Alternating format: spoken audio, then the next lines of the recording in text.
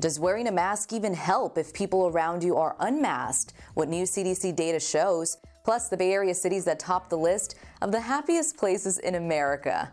That and more news coming up.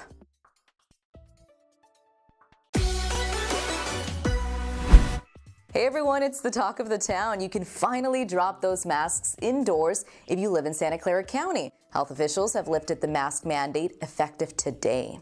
We've reached a level where it feels safe enough to make the transition from requirement to strong recommendation. There are many residents who think the county is lifting the mandate too soon, and some folks say they'll continue to wear them. New CDC data does suggest people who wear face coverings are up to 83% less likely to test positive for COVID than those who don't wear them.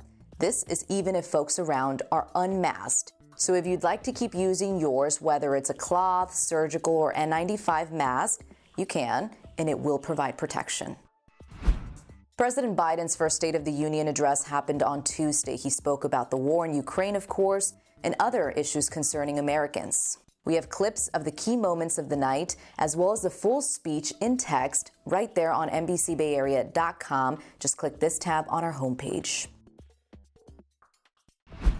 Okay, if you live in Fremont, let me give you something to brag about. The personal finance website WalletHub just released its yearly list of the happiest cities in America, and Fremont has taken the number one spot. Yeah, it's the happiest city in the whole country. But there's more. San Francisco and San Jose also made the top five. Santa Rosa and Oakland were in the top 20. Apparently, we're really happy here in the Bay Area. WalletHub says it compiled the list based on 30 key indicators of happiness, including the city's depression rates, income growth rates, and average leisure time spent per day.